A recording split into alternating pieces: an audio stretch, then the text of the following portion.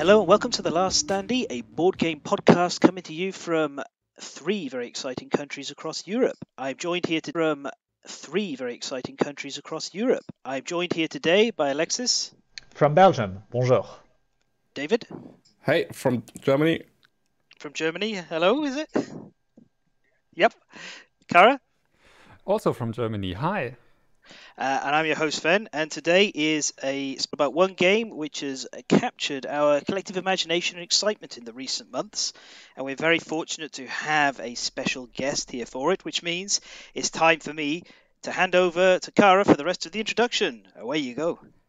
Yeah, today we are joined by uh, an artist and game designer and also write, also writer who's most mostly known for uh, Tsukuyumi, the board game, but also uh, created an RPG system, Opus Anima, and uh, several graphic novels. So um, welcome, Felix Mertikat. Hi, happy to be here for the invitation. So um, welcome, Felix Mertikat. Hi, happy to be here for the invitation. So how was your how, Hello. How was your day al- already? Well, I'll start. Um, I've had a fairly fun day dealing with uh, a load of wood that arrived because our um, uh, we a load of wood that arrived because our um, uh, we live rurally and our heater, like most heaters in Sweden, is actually a wood burner. Um, so locally sourced birch is grown, and I spent ages stacking that, and then came in here to write a ages stacking that, and then came in here to write a, uh, a bit of a review on Unfathomable from Fantasy Flight Games, which is the new um, Battlestar Galactica game. Well, it's Battlestar Star Galactica reskinned. Um, and I well, by the time this episode airs, dated because it's a 2008 game that hasn't really been updated at all. Uh, but otherwise, um, if you've got Battlestar Galactica, just you know leave it on the shelf. Um, the original Battlestar Galactica mostly is better, but that's that's all I'm going to be talking about other games for. Except I think we might talk about EOS near the end of this because I'm super.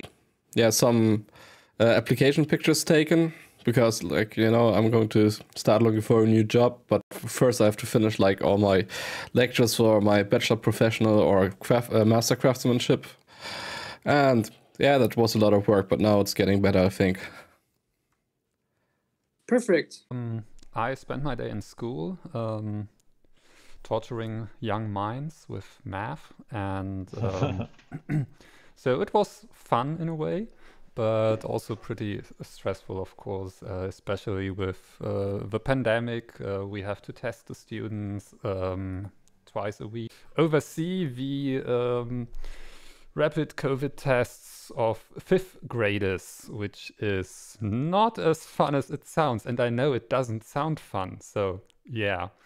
um, so there's that. Also, um, I'm not really looking forward to more work, but uh, to more work, but uh, because of new regulations, pregnant women are not allowed to teach in person. So I agreed to take over another class and working more than 100% now.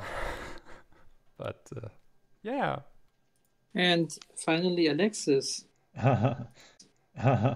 Uh, on my end, I've been uh, I've been ge- getting some games uh, on the table recently, which is which is pretty pretty good after uh, some hectic uh, hectic few weeks.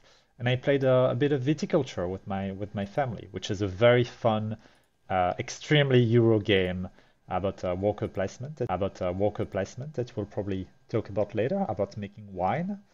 And uh, I've also finally starting reading the uh, the rulebook for the Dune game, given that the movie is coming out, and uh, we we will probably uh, talk about it some uh, some at some point. Um, you say the Dune game. yeah, Which one I know. Talk about it some uh, some at some point. Um, you, say the Dune game. yeah, Which one I know this a lot. This one is just called Dune. I'm not sure Did- which.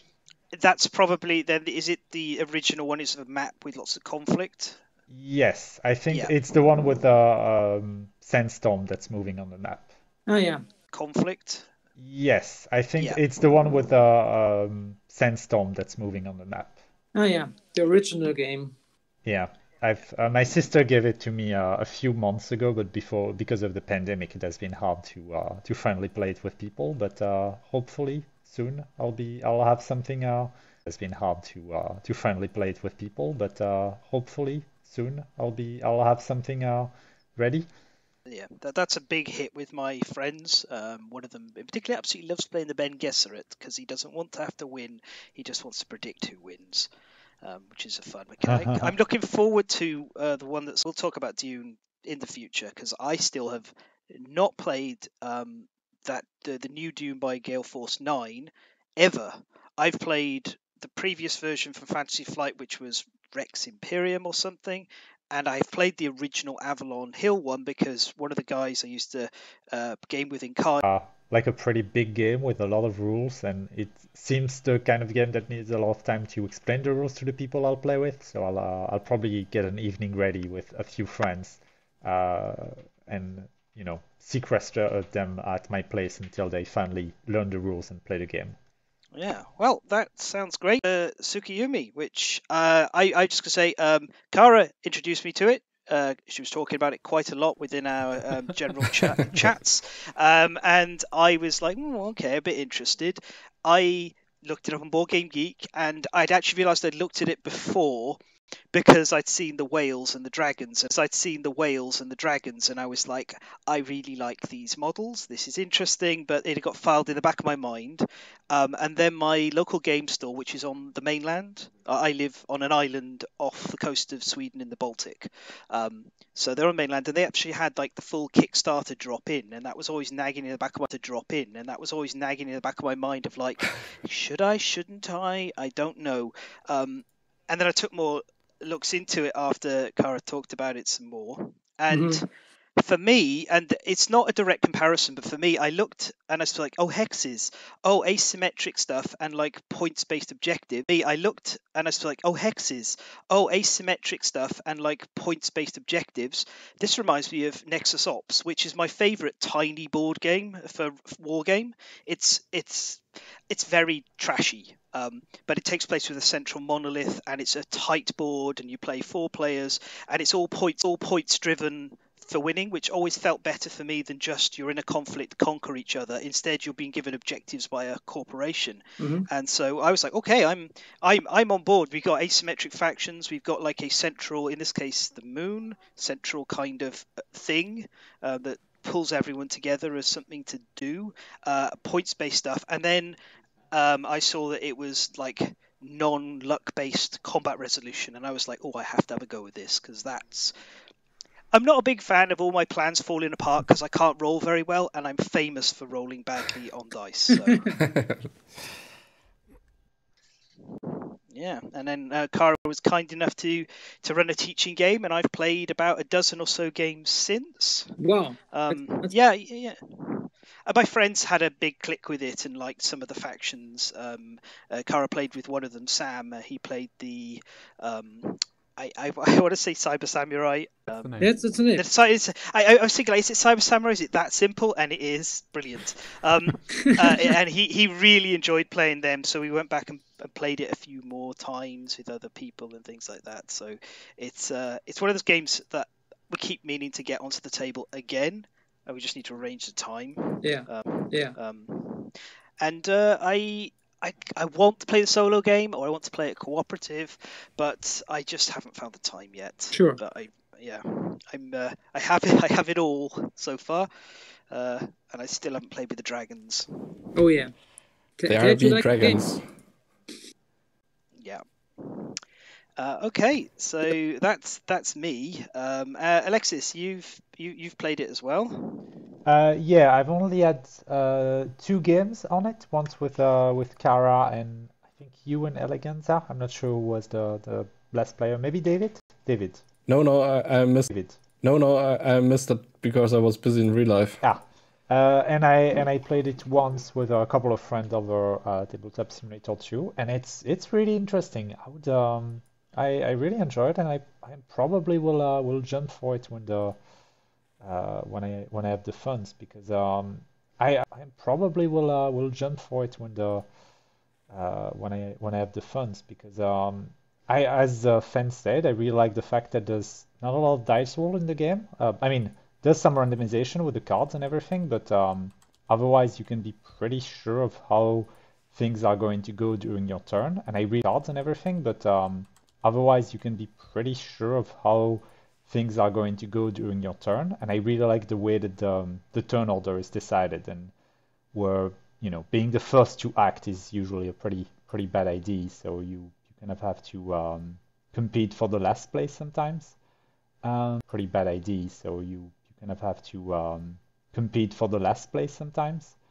Um, yeah, I, I had a pretty good experience with it. The only the time that I the the time that I played with um with Fen, it was uh, I played as the um, uh, what is it the the giant bugs faction, extremely different, which I think is also um, if not the the most interesting aspect about Tsukuyumi, uh, the the extremely asymmetric asymmetric um, situation between all factions. Yeah, that's what this was the main uh, design purpose of the game. No playing aspect of it.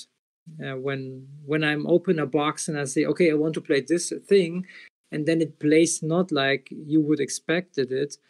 That's what drives me away from games sometimes and I wanted to create a game where you say, okay, I want to play an, uh, a species of insects, and every dragons play like dragons. Okay, play, dragons are not good in conquering areas and hold them, but they are pretty good at destroying and devastating them.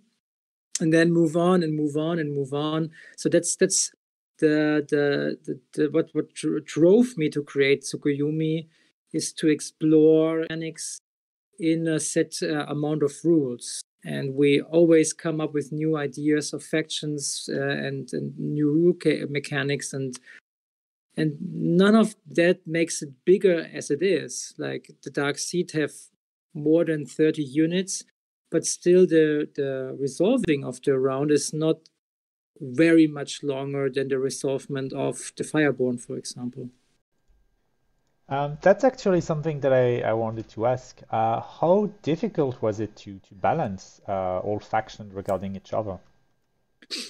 It's easier than uh, one would ex- expect, as the game has a balancing mechanic internally, like the number of attacks, the, the conquest attacks you have, is not determined by the faction, but by the um, by the chosen activation cards. So no matter how many and activation cards, so no matter how many how, how what faction you play, you have a set amount of uh, um, combat actions you can take. So killing the other units will definitely most cost you victory points. Conquering areas will give you victory points, and most cost you victory points. Conquering areas will give you victory points, and from that I mostly had to decide does one or two or three factions need more combat actions to be balanced with the others or do they need more combat actions to be balanced with the others or do they play well with the set amount and that's one of the main balancing tools the other uh, balancing tool was of course player interactions so the the strongest actions. so the the strongest players will always face the strongest enemies. And then only then it came to the balancing, and it took me four years of balancing that factions. So yeah, it was a pretty big effort to to find the prime. It's like reducing. You have a lot of cool ideas for a faction. You have to reduce to the three or four, maximum five different set of rules or special rules you need for a faction. And uh, as Kara can see with the Sunrise Kingdom expansion, the uh, she can see like the still only underperform, and I have to find out what.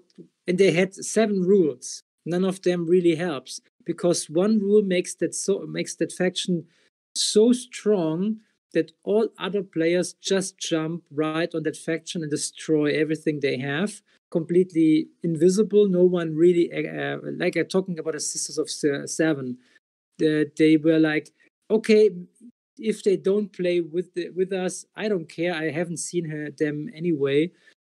And it's it's like some factions you have done in your first take, and others take, take and others take 20 or 25 iterations until they work. So I, the, the, the short answer is sometimes I'm really lucky with the balancing on the first or second try, and sometimes it needs one year with other funds and needs one year with other funds and uh, that's why the the development time of Tsukuyumi is not something I can perfectly assume or, or plan, but I can say within one year I mainly get um, things get um, things right. for for our listeners, oh, go on. I was going to say for our listeners, just to give you an idea, this is the number of factions we're talking about. There's the Cyber Samurai, there's the Boar Lords, there's the Nomads, the Dark Seed, there's the independent faction Lords of the Lost Sea, and there's you're working on. Um, is it the you said the Sunrise Kingdom, and isn't the Chronomaster faction? Yeah, we this have is... the we have the Chronomasters, and we have the Dark Crusader, which is oh, yes. the Kampfgruppe 1, like the the uh, the the second battle group uh, of marauding around. Uh, and we have in the Sunrise Kingdom expansion, we will have the Moon Circus, like post-apocalyptic clowns that, that tame and hunt Oni. We have the Coral Reef, which is actually a coral reef, and you don't have any units. You cannot you cannot fight or Sun, which is an a faction of former Aborigines that play, can create formations on the, on the board. And we have the Sisters of Seven, and we have the First Guardians, which is a, faction of um, uh, turtles and torch uh, turtles and tortoises with uh, um, jade shells. So it's for what so it's seven factions more than you uh, uh, counted at the moment. So we're we're talking about a total of 17 factions at the moment.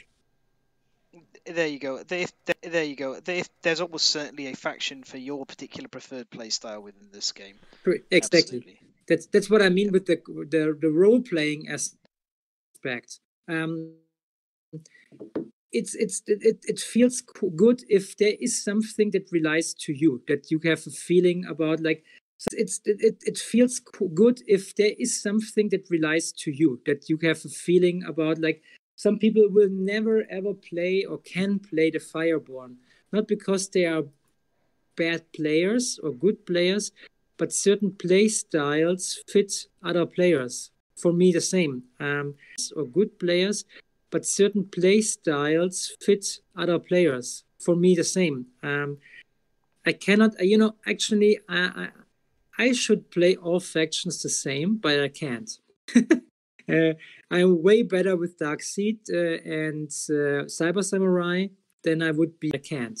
uh, I'm way better with Dark Seed uh, and uh, Cyber Samurai than I would be with the uh, Fireborn. Even though I know the perfect strategy with the Fireborn, but I try to ha- have hesitations in uh, in offensive play, and that's really really bad bad uh, for for Fireborn. You need to jump right in and destroy. You know, even though I know how to play them, as it's not my play style, I don't uh, perform very good with them. Uh, I was wondering if there's any uh, unplanned interaction between two factions that you've noticed, or uh, or uh, any stories that you have to share regarding that.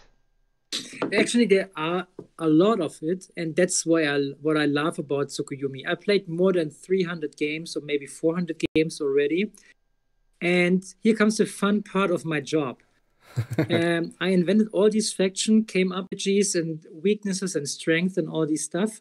And I'm coming to uh, to the Gen Con, play a, uh, as I, I, I watch how players play a game of a game I played 200 sessions of my own.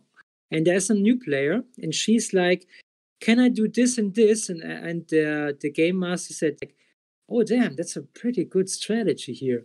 And also when I watched uh, Kara and Ani uh, for uh, in the in the Tsukuyumi um, championship, and they they really used strategics and tactics I never seen before, and that's what I love. Like, which of these routes can you exploit or use a way I did not uh, come up with in the first place? And until to, to today, uh, um, there is no bad interaction between factions. It's not like there's a faction to, to today. Uh, um, there is no bad interaction between factions. It's not like there's a faction that blocks all others and they they always will lose because factions are most of the time cons- uh, concepted as being all others and they they always will lose because factions are most of the time cons- uh, concepted as being progressive being adding stuff to the game not blocking stuff from the game. And that's that's maybe the the magic of the of it being adding stuff to the game not blocking stuff from the game. And that's that's maybe the the magic of the of it having progressive factions adding stuff will really rarely uh, block other factions of having fun like like for example uh, factions that would say all other players cannot fly anymore or move anymore, that will co- cause a lot of problems within the rule mechanics, and that's why we don't have that. Wow. Uh, I, my, my question is um, I really want to know about the process of designing a faction because um, typically in game design, this is for our listeners, you'll either come up with a, a top down or a bottom up design. So a top down design is you have the idea of the theme of the things and then you build the mechanics to it, and a bottom up is you've got a design. So a top down design is you have the idea of the theme of the things and then you build the mechanics to it, and a bottom up is you've got a mechanic and you build uh, up from the mechanics. So, um, what's your process with like creating a faction? Maybe you could talk about one of them um, a bit about how you got the idea and and brought it together. Progresses. Um, as Tsukuyumi is a fluid process, I have my fixed list of faction that should come. I, I here right right in front of me, I see the list of all 25 factions that we want to uh, have in uh, one day in the future if uh, at the moment we have 17 oh no it's then it's uh, uh, it's eight eight factions more. Um, not counting factions we we developed on the way like the chronomasters or the there's there should be a polish faction from our polish um, publisher. But coming back that really depends on where in the process the faction is is forged. So let's say before we started working on the Sunrise Kingdom, we had a fixed uh, um, set of factions. We wanted to have the Laser Vikings. We wanted to have the Sisters of Sorority Vikings. We wanted to have the Sisters of Sorority, and we ha- wanted to have the Coral Reef, the Aborigines, like the Circle of the Sun, and the Moon Circus.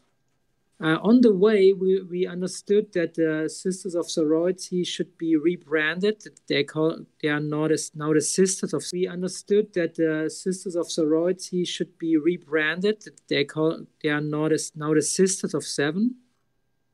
And the Laser Vikings obviously are not in the box anymore, but not they they not they were not thrown out of the box, but we had to retheme them, but not they they not they were not thrown out of the box, but we had to retheme them. Um, as we had a really good set of rules, a perfect set of rules, which do not fit the theme of the faction, because we had a faction that are really good in uh, faction that are really good in uh, defense. And if you think of laser Vikings, they should not be good at defense, obviously so we had to come up with okay either we are we are going back to to, to zero and start and starting uh, the laser vikings or we make this we moved the Laser Vikings to the Blood Moon expansion, which will host another five faction in the future, which that it belongs good because it's Blood Moon. It's obviously factions about warfare. It's all blood. okay, so Blood Moon will be the it, and um, introduced these uh, jade shell turtles to the cosmos of Tsukuyumi, created a really nice backstory for them, and integrated to the cosmos. So we use both at the same time, having a thematic approach. So I, we have the Laser Vikings theme and going back and re- reinvented a theme for the same room mechanics. So that's so there's no set answer which comes first. Sometimes the mechanics comes first, sometimes the ideas coming first. The good thing is about having the, the theme coming first is you come up with up with weirder and more special ideas. Let's say the coral reef. I said I want to have a coral reef in that game, like a strategic area control game with a faction with no units. That's unique, and I want to have that. Coming from the theme, it was uh, plain obvious was what kind of elements do you have to avoid and have to have to use? If you come up with uh, the, the other way around sometimes creating okay what kind of rule would be cool in the game uh, can feel a bit off in the first place but once you but once you you have the right theme for it it could fix uh, fit perfectly. And for the Fireborn, for example, because you mentioned it, there was a, a third pro- progress. There was this uh, back and forth work progress because we invented the Fireborn. Invent- there was a, a third pro- progress. There was this uh, back and forth work progress because we invented the Fireborn, invented their rule set, and came across okay, they feel a bit of so either they can conquer or they can destroy people. But both that rule set and came across, okay, they feel a bit of. So either they can conquer or they can destroy people. But both, it's not uh, really dragon like. So we reinvented the ability to devastate areas, a new kind of not uh, really dragon like. So we reinvented the ability to devastate areas, a new kind of attack. That's and when we decided this, we had to create a burned backside for every area tile. And before that, we had once we used one side to uh, show the destroyed areas, we changed the whole game because of one faction. And that's what's what's Tsukuyumi. It's every faction is part of the core game and other way around. We we fields should have an impact to the game.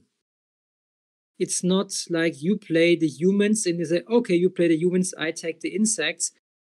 No, the thing is, if you play the nomads, all other players know, okay, okay now there are mines and there are heavy shitload of weapons now we have the nomads with a lot of shitload of uh, damage and the U faction with a shitload of units. So which do you pick? And that's that's what what I really like about games, and that's why this part of Tsukuyumi is each player alters and affects the technique set for this game night, which you cannot just uh, regain the second time. So you want to play another game of Tsukuyumi to have another experience.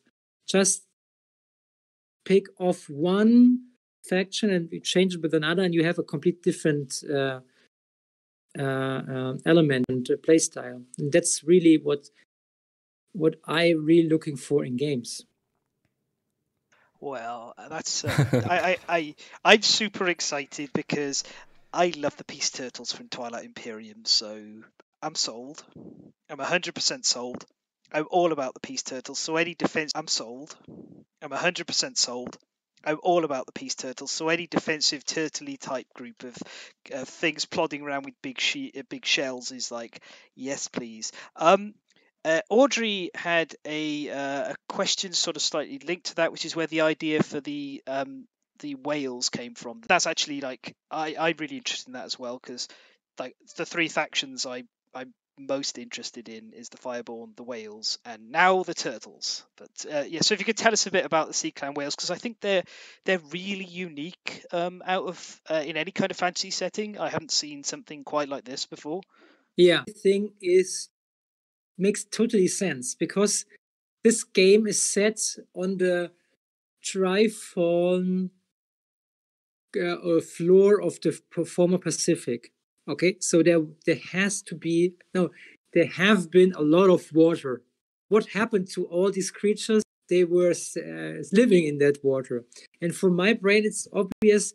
Okay, so we have some mammals living there, whales and dolphins, and all uh, um, uh, smaller dolphins and uh, and seals. So what happened to them? Okay, seals they they have no problem. They can just walk on land and uh, the sea. But what about whales? So whales, okay. And I really like whales. They I think they are perfect creatures. And it makes sense as we have the approach of having up, upright walking boar lords. Why not having walking? And this was, you know, I, the, the, the, the story I tell you is longer than what happened in my mind. It just it was just like 10 seconds and i had the idea of land walking whales. And what what then came was a long process or a process of accepting it because i knew i liked them but this was a big risk at this moment to um, reveal that faction because player can say okay now now you're over the top. This is you know at this moment uh, before this, this was a cool this this was a cool game, but now you walk have land walking whales that kills it. I don't buy that game. And back then, this was really a risk.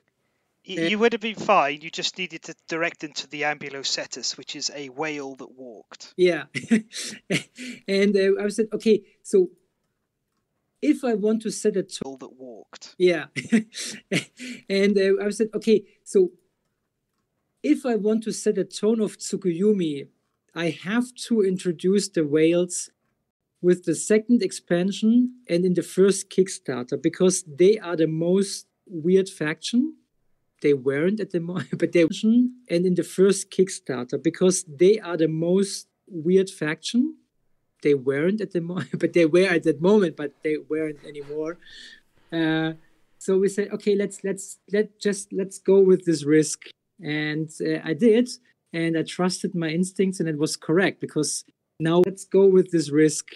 And uh, I did, and I trusted my instincts, and it was correct because now we have diplomatic, peaceful, uh, walking whales, and we have a lot of fans, myself too.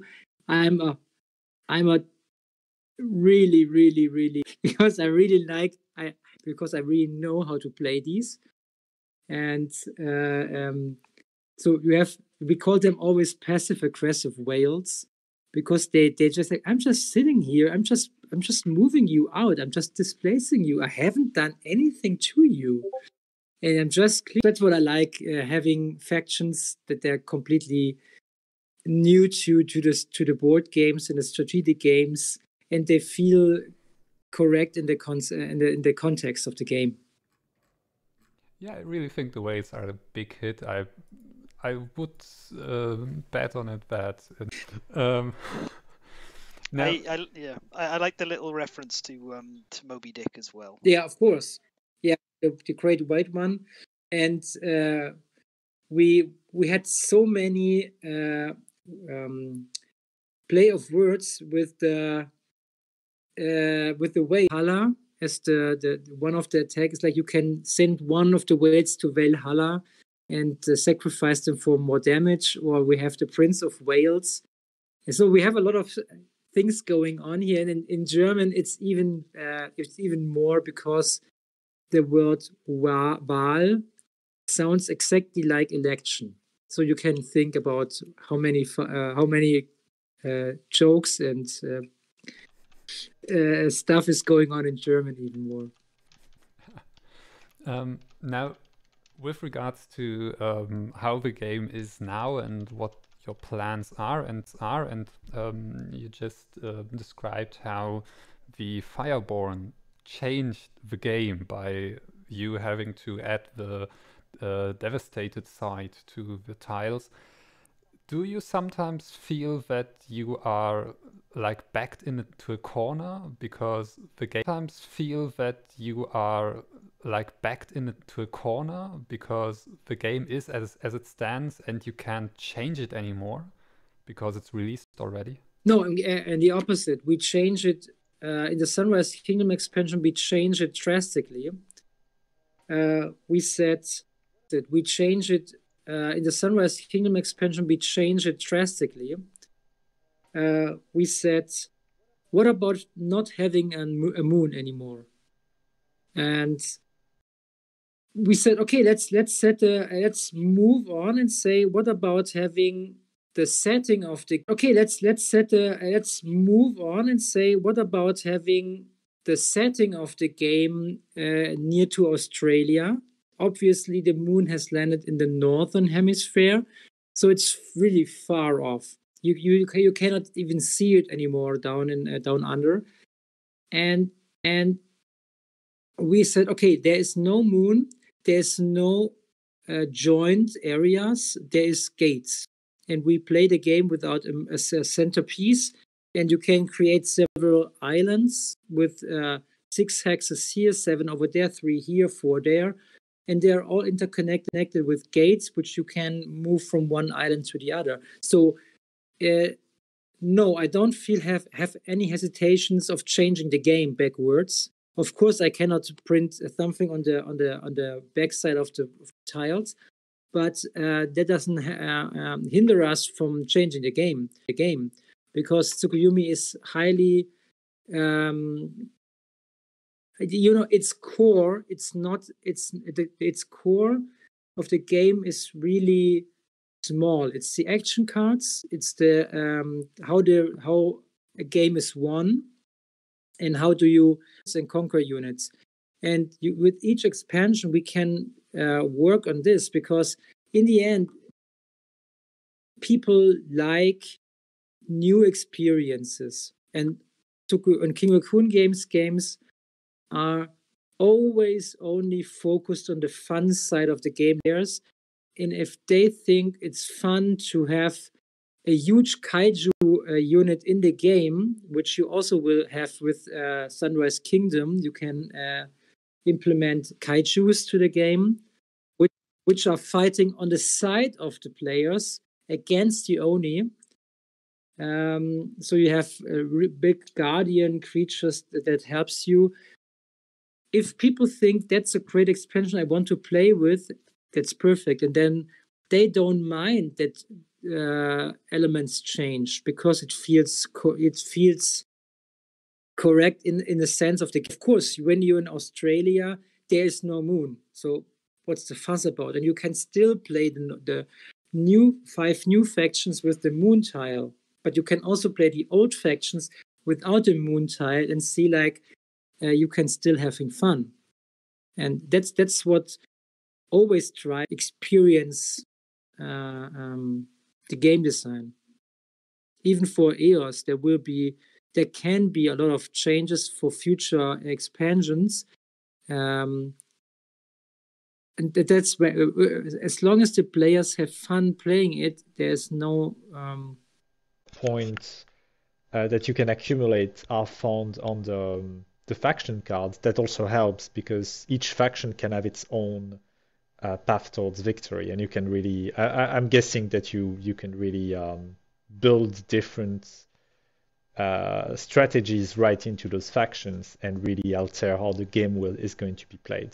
Uh, because that that's what something that I I really liked, even though I, I lost in my game with um with the samurai, but I had completely different objectives in my mind as the other player, and so we were playing on very different levels. Uh, it felt, uh, and I, I, I, enjoyed that because sometimes it was easy to cooperate with uh, another faction because we weren't at all competing on the the same things. We could occupy the, the same tile, and it didn't matter for me. Um, and I, I like that. That's uh, it, it has some very strong uh, core design that I'm guessing uh, really help you build on top of it. Absolutely, absolutely. It feels more natural because not you know Dark Seed faction does not run for the same resources as the nomads do, and that's that's that's quite kind of obvious in the state of the narrative. If you just look at a faction with uh, whales, why should they compete for the same resources as uh, uh, Fireborn? And that's something I want to have in the game. Of course, it's about winning the. That's something I want to have in the game. Of course, it's about winning the game with victory points. But how you go there does not involve conflict at its very uh, heart. It's about competing for the highest victory points, but it's not competing against each it's about competing for the highest victory points, but it's not competing against each other. That's a really big difference. It's it's uh, competition, but it's not conflict per se. There are factions like the nomads; they are meant for conflict, and also the conflict per se.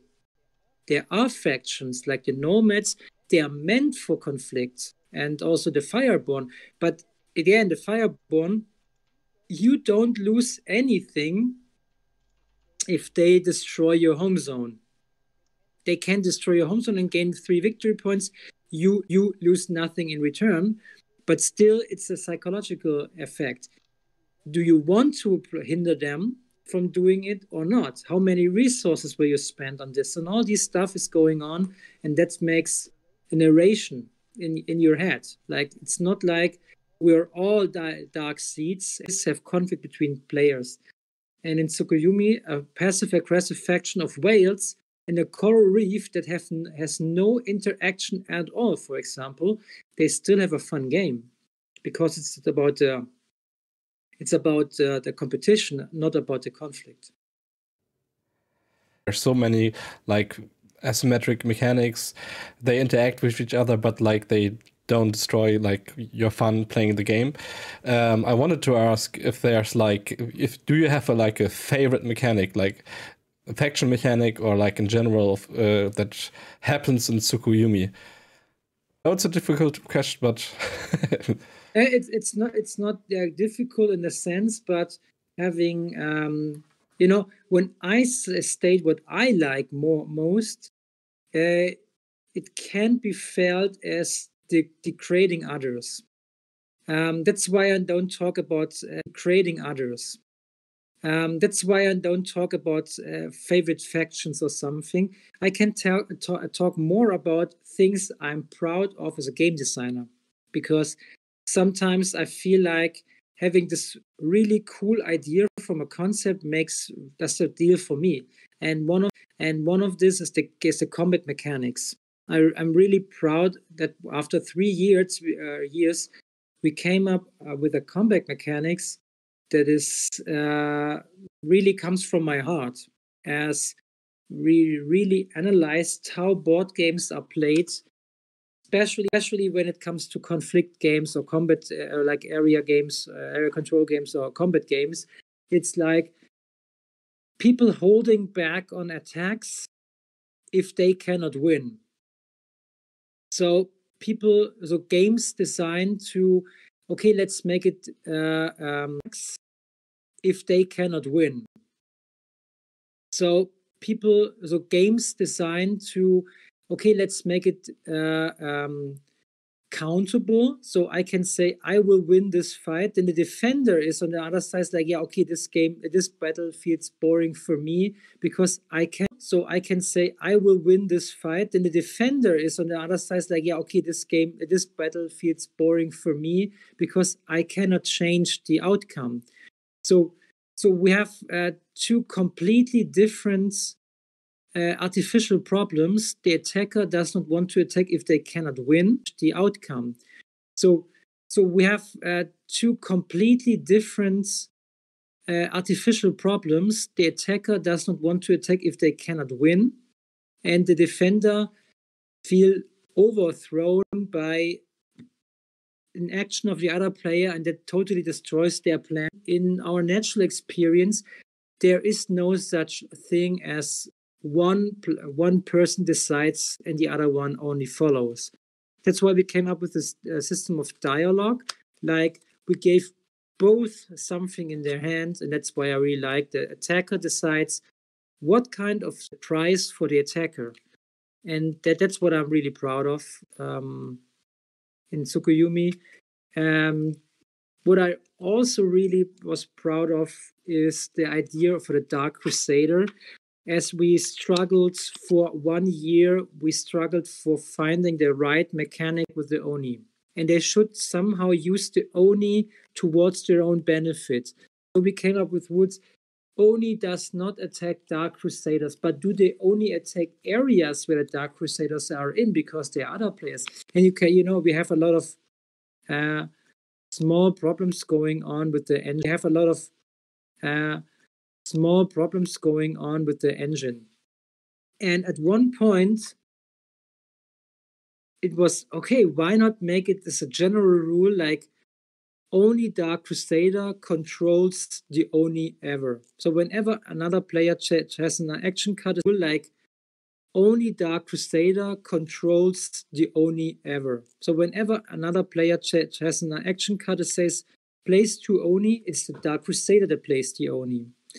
And this way, all of what we wanted to tell was immediately there because the player will never, it's the Dark Crusader that plays the Oni. And this way, all of what we wanted to tell was immediately there because the player will never harm his, himself because he decides where to place Oni and where they attack. So we don't need any special rules to Onis. You will not, not attack your own areas, of course.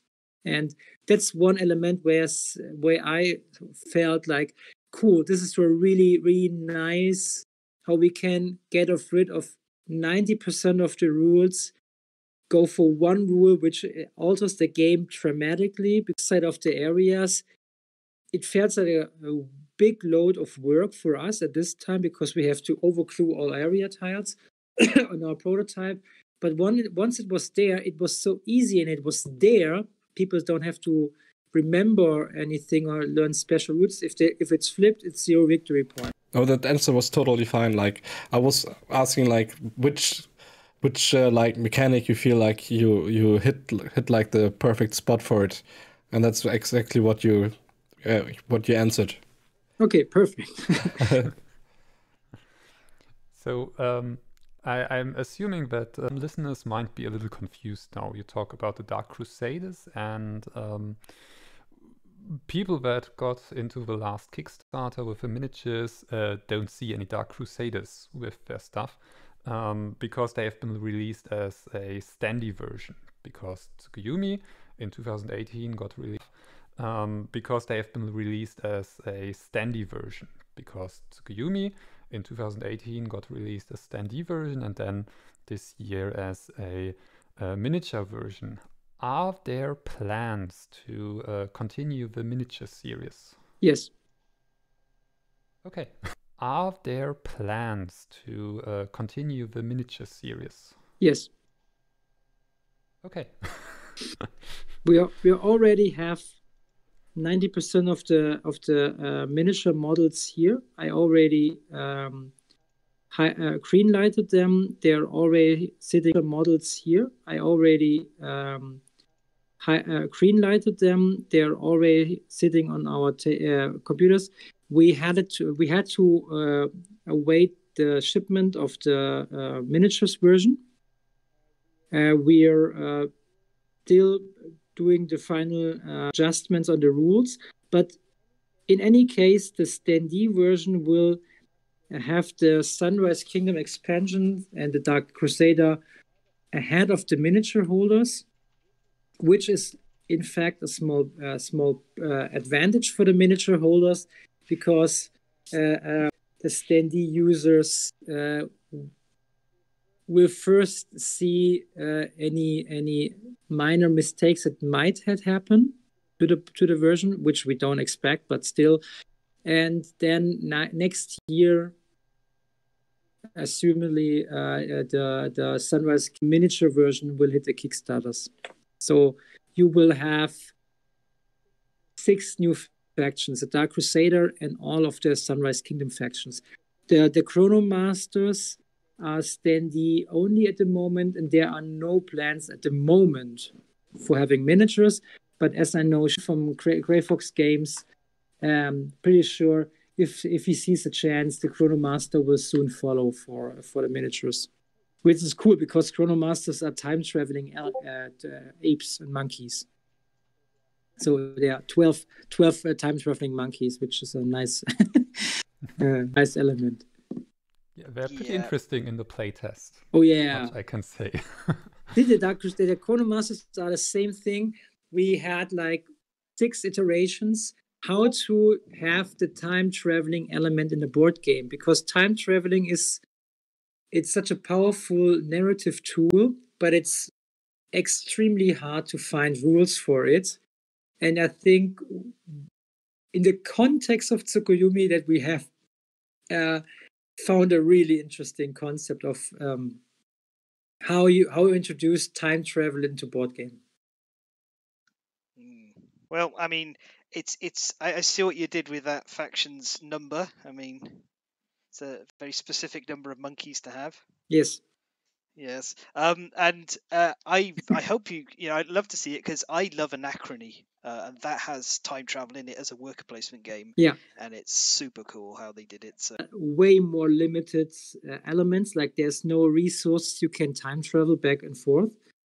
Uh, that's that's why we came up with the, the, the that they start the game with a lot of already conquered uh, areas and other players have against that you know because they know they already have all these areas and now they the players the players start uh, playing the game backwards ta- like narrative wise because the the Chrono Master already have won. Okay? That's that's that's the the, the idea. Hmm. they all and it's the it's up to the players uh, to change the future uh, in in uh, let them don't let them win. And the the chrono masters play backwards because they already start as the strongest victory point holder and have to defend their points until the end of the game and that's that's that's what in the in this limited amount of uh, elements I can have in Tsukuyumi without resources and something like that, that feels that that grabs the idea of time travel, I guess. Yeah, that's uh, that's going to be an interesting one to see how it plays out. I do hope they come out in miniatures. Uh, speaking of which, uh, who's they're, they're they're not huge, but they're really nicely detailed. Yeah, we have uh, we had uh, for the core box we had six or seven different uh, miniatures designer like um, modelers. So they, they they will come from all over the world. We had Italian. I think most of them came from America.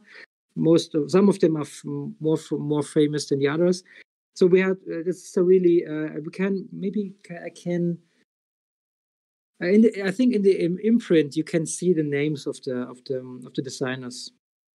Yeah. Because- So you had maybe like what was it one to give them a, a theme and cohesion in style? Yeah, we had we had Mhm. one designer for the Cyber Samurai, and he also did the Warlords and the and Gabrielle, which uh, she did the Fireborn and the, and the Whales completely. So we we gave them faction wise. You know, they, they, did the whole faction, so they that the faction feels uh, felt uh, um, um, whole, holistic. Mhm. Yeah, you know, Cohesive, yeah. cohesive. Yeah. and but in the in the in the end, we had sent all data to a Russian company.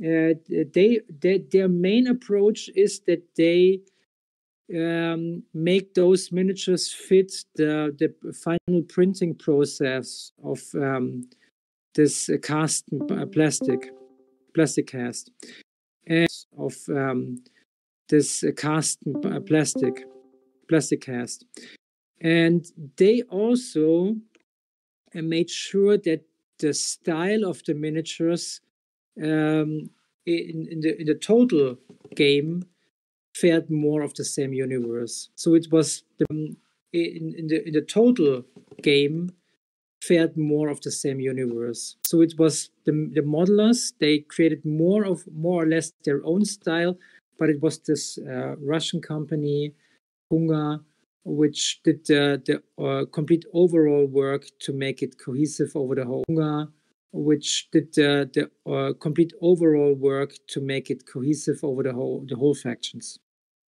Okay. That's also why producing this kind of game like Tsukuyumi, we have maybe maybe you you're not con, uh, um, no you're not con, uh, um, know all these facts behind the, the scenes.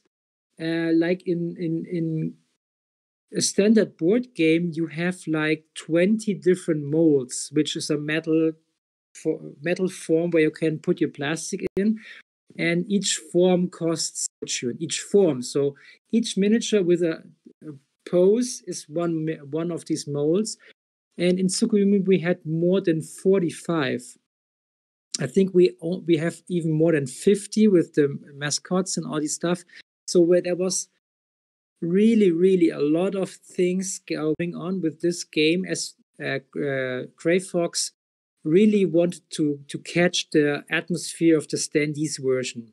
That's why we had to cut back on some of the variability. As you can see in the illustrations, there were 14 different nomads. We in the miniatures version now have now have seven different nomad miniatures, which is still a lot for a board game. If you check back with other board games, I would exclude cool mini uh, games, of course.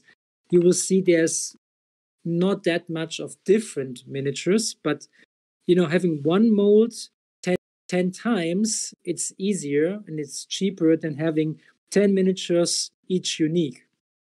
And that's why this process was so long because all of these 50 of molds have to go through to to uh, to Russia.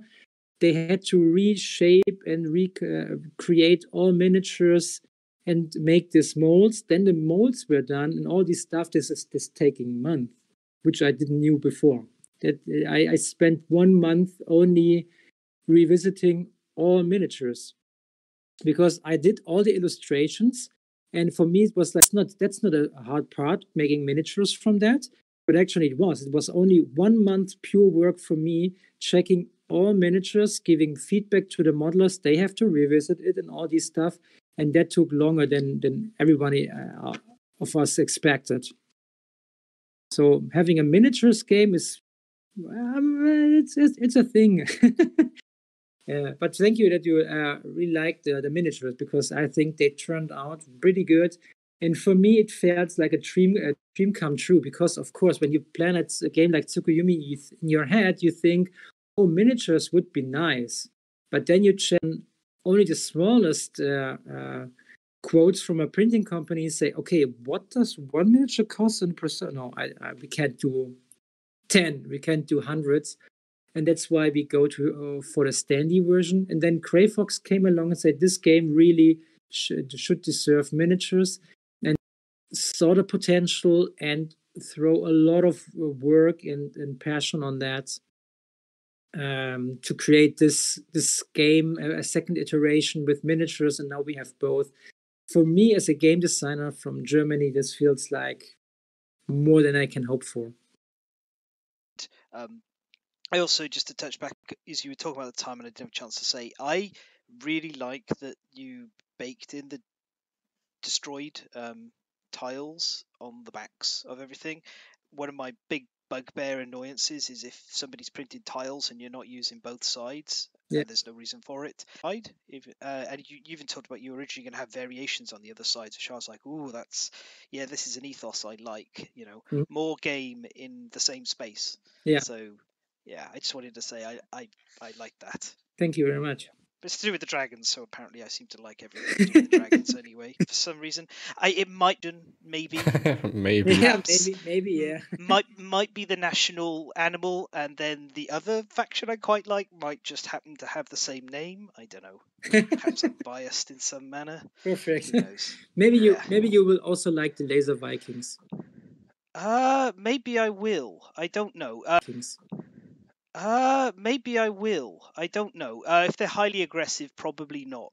Um, I like I like factions that are small uh, with a few units, Oh. or I like really defensive factions. Okay, okay, okay. Yeah, the Laser Vikings were really defensive, but that doesn't fit the th- were really defensive, but that doesn't fit the theme. Yeah, yeah. The de- defense Vikings, it's not a thing. Mm. I have another question from Audrey. Uh, uh, they want to know if um, if the you were at all inspired by Majora's Mask with the concept of if the you were at all inspired by Majora's Mask with the concept of of the moon crashing down at all. Actually, not because uh, uh, I have no idea what what this mask is coming from. What is Majora's Mask?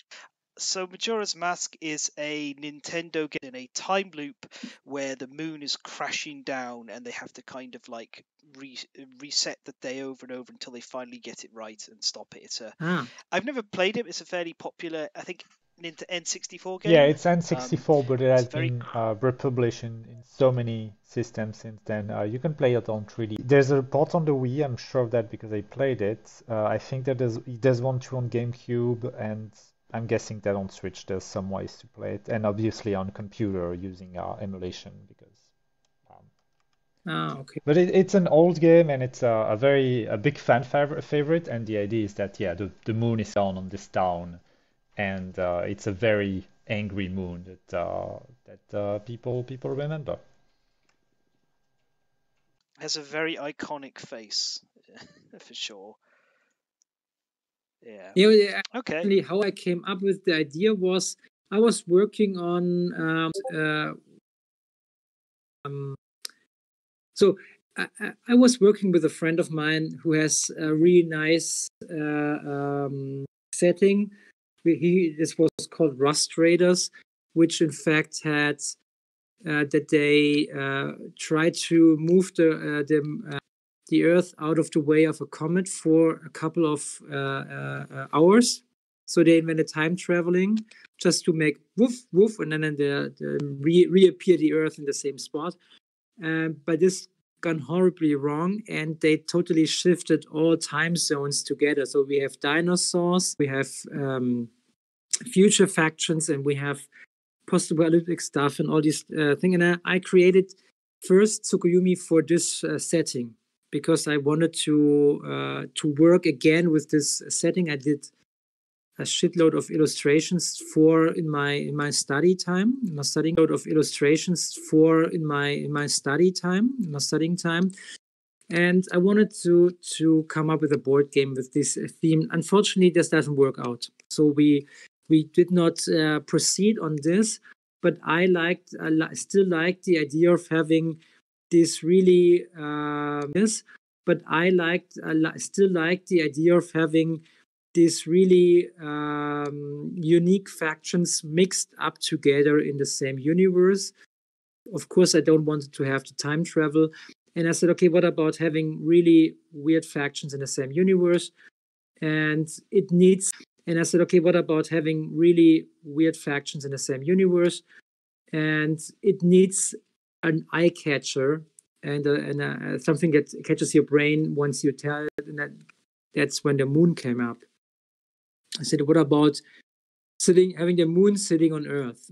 And like, okay, like, okay, it's a nice idea. Let's try this. And that's that's where we moved on from that. And of course, today it has nothing to do with Rust Traders anymore, but that's where it originated from. Okay, that's that's really cool. Yeah. Starter right now, which I have on remind me. Um, just to interject. Um, Oh, sorry. Um, I mean, I, I do think we should talk about the um, criticism for the last Kickstarter. Okay, sorry. Because Yep, I sure. think that's. If we don't talk about it, I could imagine people are like, hey, why don't we RPG? which I'm very interested by. Sure. Ok- Okay, that's fine. Now I was just looking at the clock and we're like at three thirty. But Okay. okay, then Kara, maybe you take. Yeah, no, Go it's fine. You take talk about the charge. Kickstarter, then tabletop, and then a short outlook to EOS.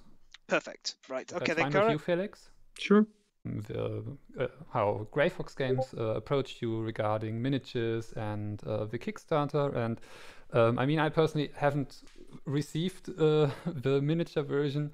Um, I am thinking about getting it uh, in addition to my standee version. Um, but um, of course, I of course I did stumble across. Um, posts and comments also on your current Kickstarter regarding the quality of the miniature version. Um, can you shed a light on what's going on there? Uh, what are the alleged problem, the alleged problems with it, and maybe what that does with yourself as the designer of the game? Of course, you would love for everyone to love your game.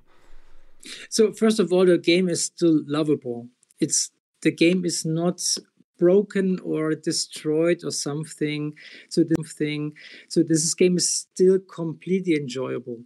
Uh, what happened is we and Grey Fox first time ever worked together. Also, we never worked together, with any company as Grey Fox also. So we had some kind of um, together with any company as Grey Fox also. So we had some kind of um, communication mistakes happening, which is not, you know, like reading in the internet feels like everything is really a catastrophe. It isn't. We played the miniatures version, it feels exactly the same game. Like everything is really a catastrophe. It isn't. We played the miniatures version, it feels is exactly the same game.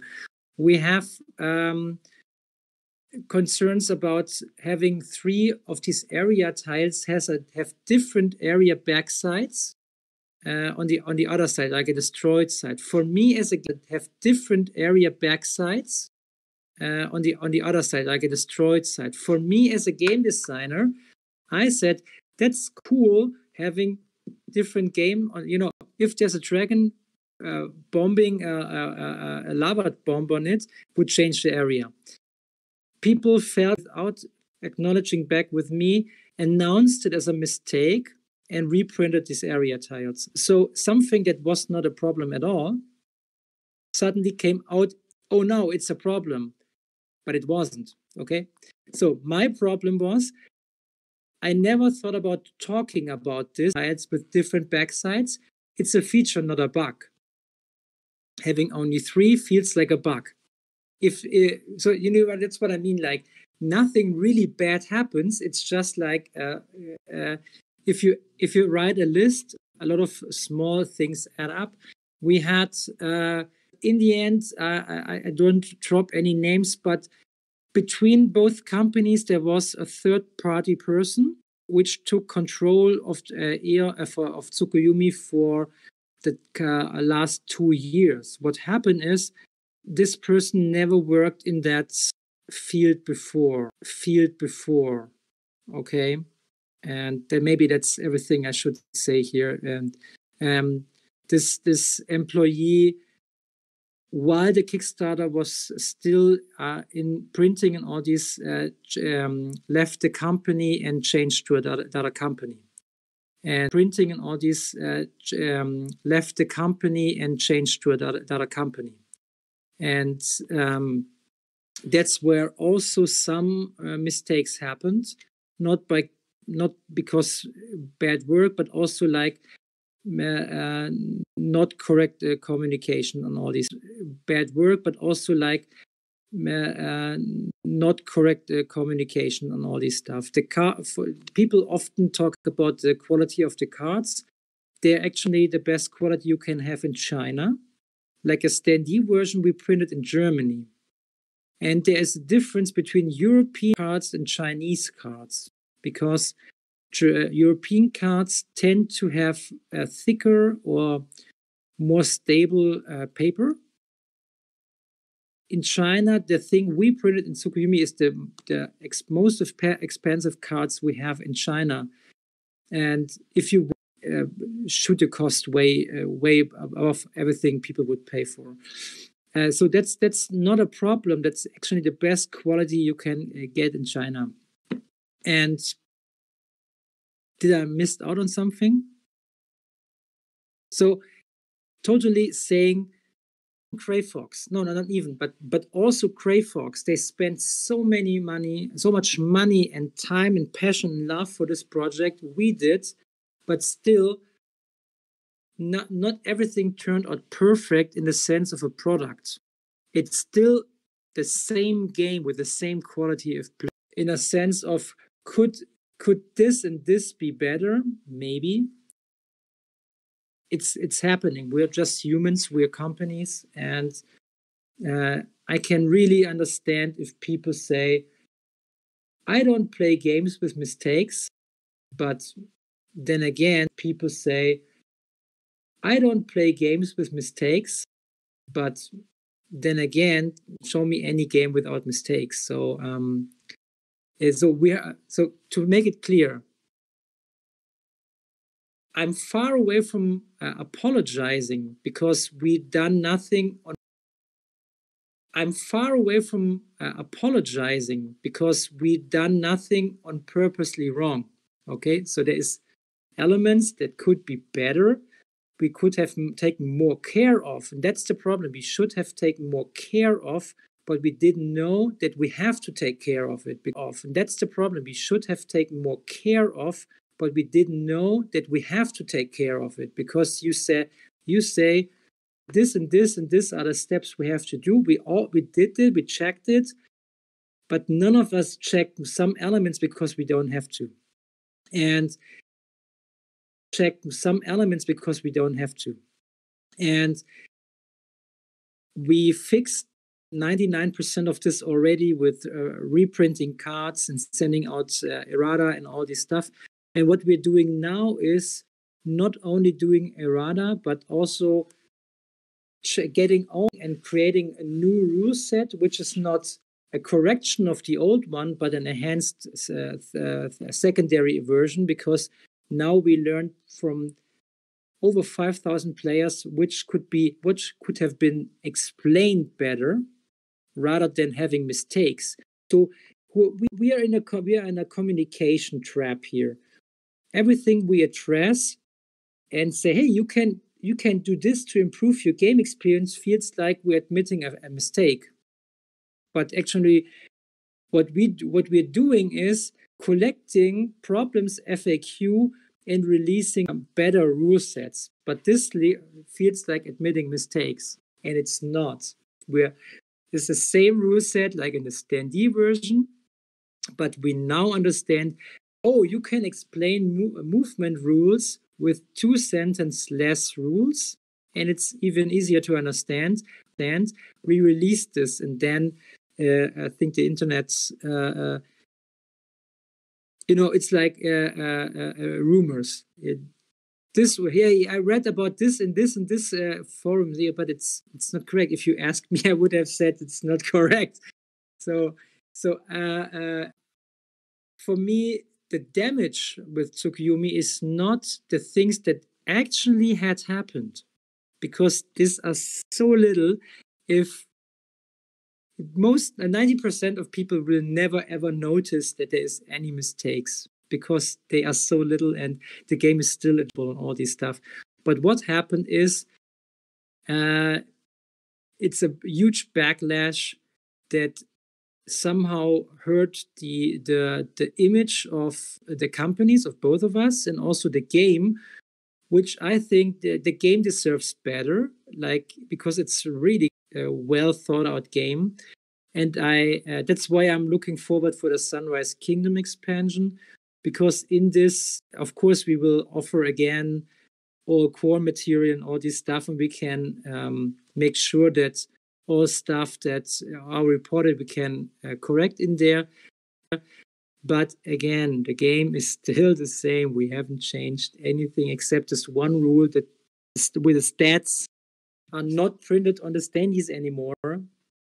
That's why we changed the movement through units uh, rules to make it a bit easier, which have which could also have been done by complex rules uh, anyway. So, yeah, I think uh, I hope for Tsukuyumi that we will have a second chance to prove that uh, to people that this is a really thought out game and it can bring to the to fun to the to the table. Well, With uh, the time of erratas we live in, that um, I mean, I've seen comments like, "What? There's like three or four pages of errata and so many mistakes." And then you look at the errata and you notice, no, a lot of those things aren't really mistakes. It's just clarifications or answering or answering of questions that came up and um, the actual amount of mistakes when you like okay some of those are like typos and you would have understood it anyway but for the sake of it it's added as well and uh, what's left is maybe uh, what's left is maybe a handful of, of small things so um, yeah people should really look at hey what is actually addressed there and not just how much uh, is addressed. If anything, as a as a player, I always think that having a lot is.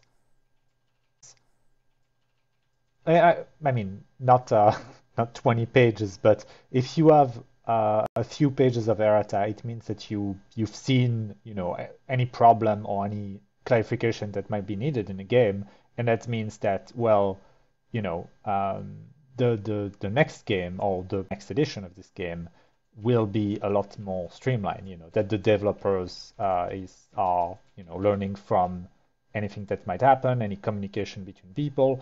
Plus, you know, a board game, it's impossible not to. It's impossible to see every interaction that every um, rule is going to have with, like Tsukuyumi, with so many factions that that interact with each other. Each other.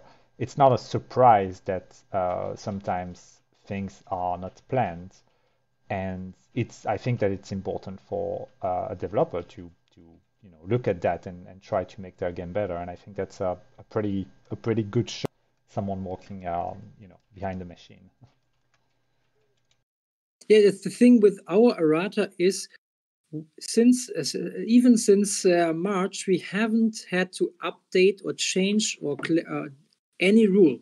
Everything is really exact at spot. What we had with the errata is the understanding of how we explain the rules. That's a complete different topic. Like, and in, in total, five people in total the whole internet ask us, can you clarify on how to move enemy units? Okay, so we're like, okay, if five people have problems, we can again explain it we, we just explaining the same rule again with other words. It's not like the first thing is was wrong, but for some people the explanation was not can can I use this unit to do this and this and this? There was questions and we said, okay, we can address this not by only answering this question, but saying, okay, we can write the core if we if we implement the question in the core just in case people want to understand the rule better.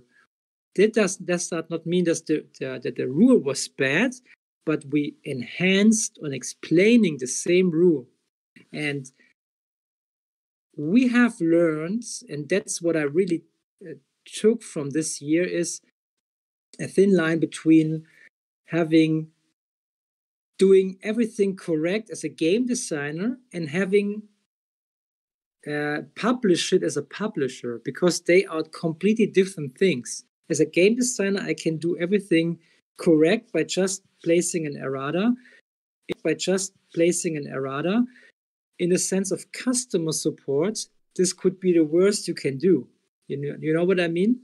And I don't say that Tsukuyumi miniature version is perfect. I know there are a couple of issues and they have we have addressed them I know there are a couple of issues and they have we have addressed them. We said, okay, we printed the wrong side on two of the minute of the standees. We apologize for that. We sent out stickers. Still, the game is completely fine playable. We apologize for this mistake. This should not happen. And stickers Still, the game is completely fine playable. We apologize for this mistake. This should not happen and will not happen again. And these these elements we do not uh, refuse. We we done this. Some of them were done by us. Someone else. No of them were done by us. Someone else. No matter. We we we say we we we stay behind this game and we are we are looking forward to, in the future to fix it and even improve it. And we're still working on Tsukuyumi to make it better in the sense of you can learn it easier, you understand it better, or you can teach it easier. And that's why we working on the rule book and writing really long and really um, excessive uh, errata because we want to help the players play our game. But what we somehow gave away is there were a lot of things wrong in there if they send out an errata like this. and that's what I learned. Yeah. Okay. So um, at the start, um, you talked about um, you like this role playing in Tsukuyumi. You know that um, hey, I want to play as these bugs and spread everywhere, or I want to play these high tech cyber samurai, and and then you decided why not go a step further. yeah. That's why we announced the role playing game. Uh, something that was on the horizon, uh, horizon all the time, uh, as uh, friends of the game, and always uh, somehow asked for and uh, last year we said okay let's let's let's check if people are really interested in having a role-playing game. I didn't any board, uh, role-playing game at this moment we had some ideas for rules and all this the world. So we we said okay let's let's use kickstarter exactly for what it was before like checking if people are interested in backing this game. And they were. And started doing working on this project right after the Kickstarter. So we're we're we're in a good position at the moment. I wrote like uh, we're at 195 pages already with text. Uh, of course, there needs st- still a lot of illustrations to be done and more text. Text. Uh, of course, there needs st- still a lot of illustrations to be done and more text but uh, we are only missing six factions uh, of being written. The rest is already there. We we sent out a huge uh, pre, uh, uh, um, preview. It's already there. We we sent out a huge uh, pre, um, preview rulebook. I think two or three months ago, which you can still download and have a look at. We invented specially for this game. So okay, so to show the passion we, we, we have for this game, especially for this game. So okay, so to show the passion we we, we have for this game, we we uh, had 50% of the game and the book written already. And we we uh, we read through the text and say somehow, even if we're we we have everything done perfect, somehow it doesn't feel Tsukuyumi-esque. Just from the just from how you um, uh, receive or, or, or, read the book, and that's when we just okay. To have the Tsukuyumi experience, we have to reshape our texts and make it more Tsukuyumi-esque. That's what we showed and proven in the last PDF what I, what I sent, where we invented context-based storytelling. And when you're reading through a regular role-playing text, it says um, the people of mm-hmm, go uh, live in a very dangerous place. There are often attacks by mm-hmm, and they live they, they, most people love the color green and uh, okay they try to uh, create an atmosphere for something in the effect uh, in the end um, 90% of this stuff will not make it to the to the final role playing experience on the table. Because the game master forgot about it because in this really long text uh, it does not affect the gameplay because uh, city uh, uh, inhabitants that love the color yellow does not fit to my adventure. All this stuff you know like and the attacks for the city does not play any role in my game. So what I've what, what is the real information uh, content I took with this took with this text, and we we thought okay by the by the sheer amount of things we in stuff we need for Tsukuyumi because we want to ex, uh, uh, uh, explore the whole world. If we go on like this, we will have 1,000 pages. No one can ever remember. And we will have 1,000 pages. No one can ever remember and especially for factions and, and creatures you don't usually see in your uh, uh, in your standard role playing game. You know, uh, you don't need another uh, long. You don't usually see in your uh, uh, in your standard role playing game. You know, you don't need another long description about orcs or elves. Yes, it could be two sentences and everybody's on the same page.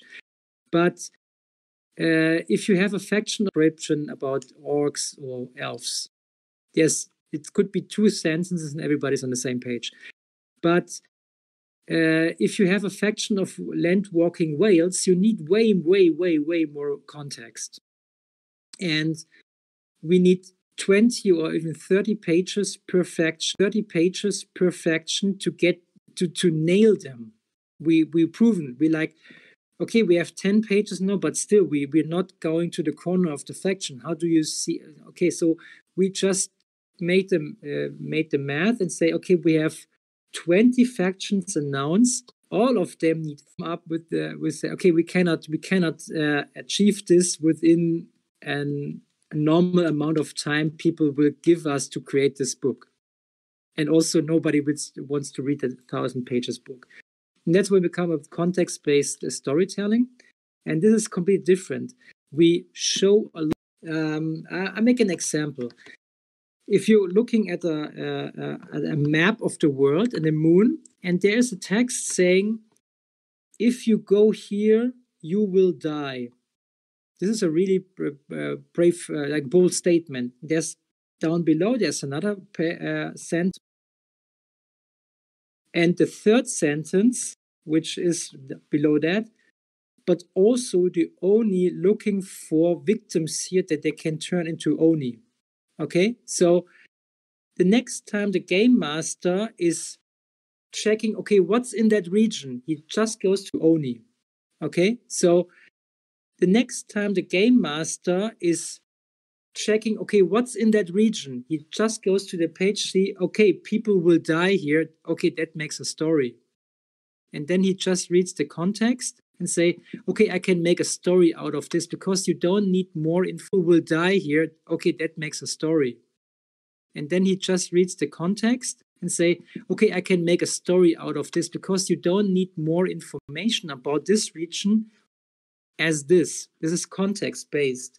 It's what you really need for your brain to get about this region as this. This is context based. It's what you really need for your brain to get into telling stories.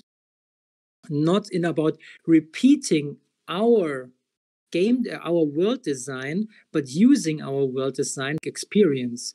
And that's what I think role playing is about. It's not about recreating everything correct, like in DSA, the, the Black Eye, where you where everything is completely plotted out and you cannot you cannot use this door. Why not? Because this house was descri- uh, described in pay on page 15. There is no door, yeah, but but it would be a good story, but there is no door. So we think there. Uh, I I prefer a role playing game with a bit more of a sandbox element, but still people buy into Tsukuyumi for these factions like uh, land walking whales and laser vikings. So they need information, but usually the information should be given, as I think, that game masters and players are excited to explore them in their story, in their in their role playing, not being limited, but being enhanced by effusive role, uh, saying you don't you cannot do this, but if you go there, this will happen. That's a complete different uh, sentence.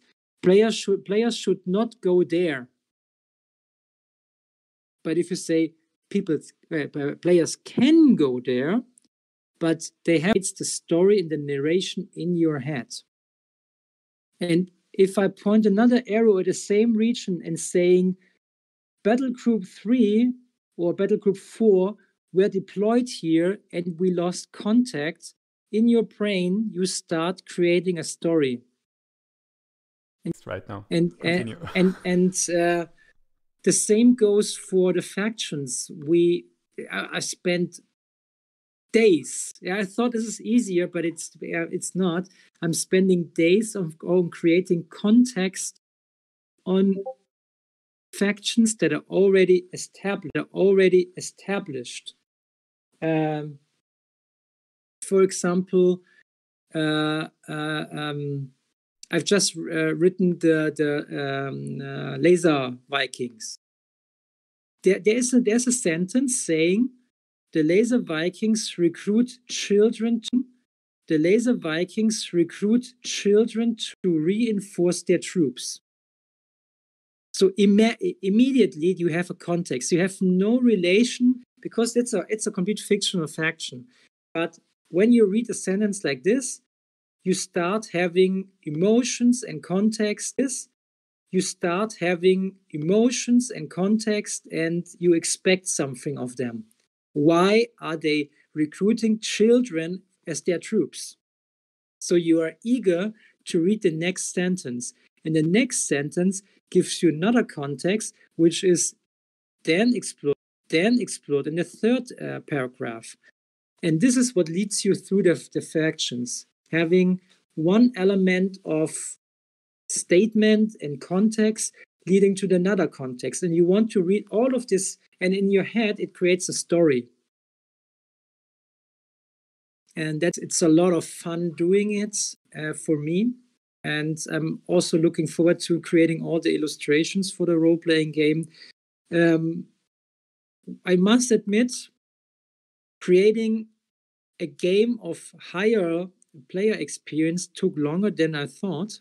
That's, but we will have we will not make it until October, obviously. But I think uh, the the what happens inside the box and what you in your ex- play experience will will made up for for the delay, hopefully. Yeah, well, really looking forward to um, more of that. you you can you can download the PDF and check on your check uh, check this by yourself. We have think it's sixty pages uh, we gave away for free. Uh, uh you, maybe you can uh, post the the PDF in your comment section below. Uh, you, maybe you can post the the PDF in your comment section below once this podcast is is aired. So everybody can check out and, and check for themselves if this works for you. And if you feel like giving us uh, input, like either you because you like it, or giving us uh, input, like either you because you like it, or you say, "Oh, that that, that doesn't work for me," please send it us. Uh, send it us. Uh, I'm really looking forward to hear about it. So I think we have time for one final question, don't we? Right. Fen, you wanted to talk about eas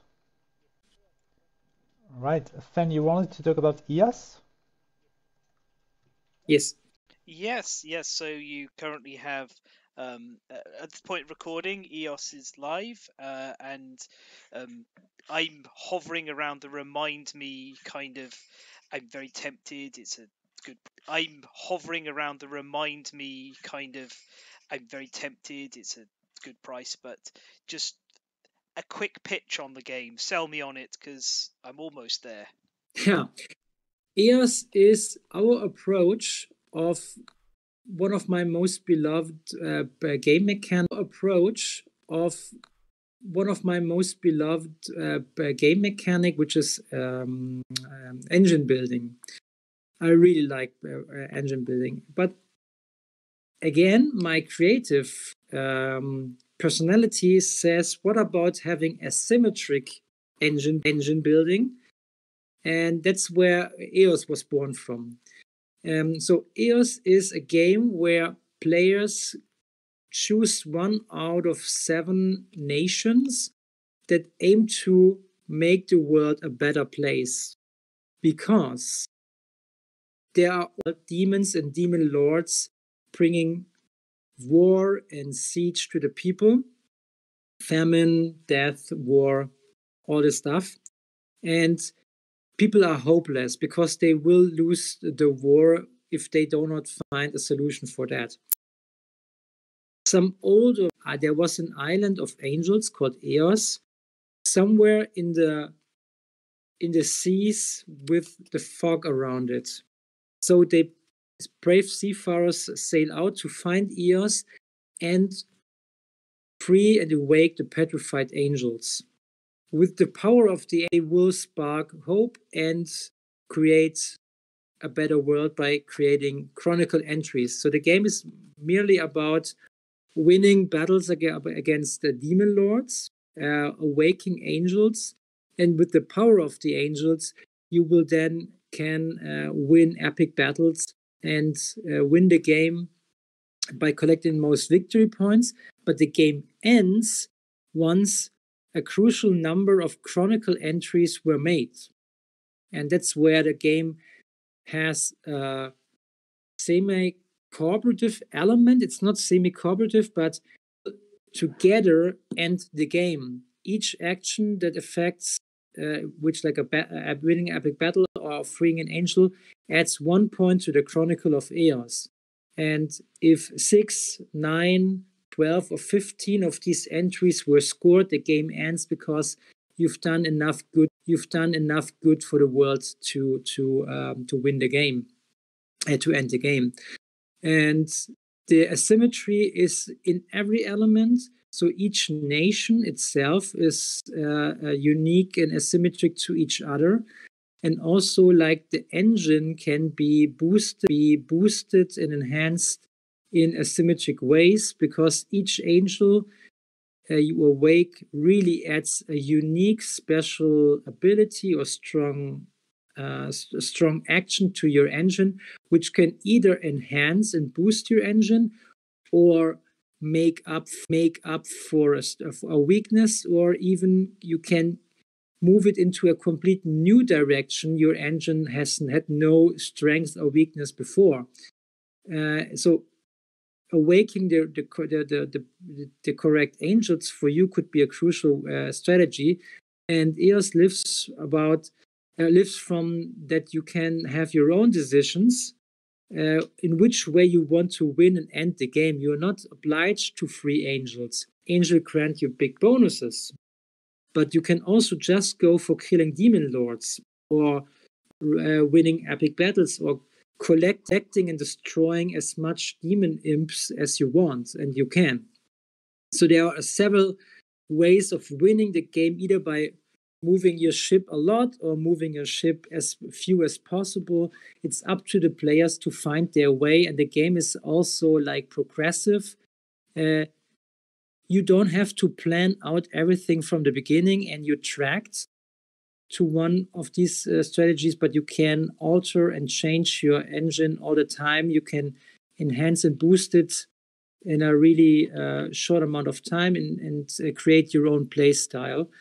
And the element I'm really, really looking for and I love is the um, the engine pressure concept. Like normal bo- uh, engine builders, you have your engine, and the, the engine gets getting better and better and better.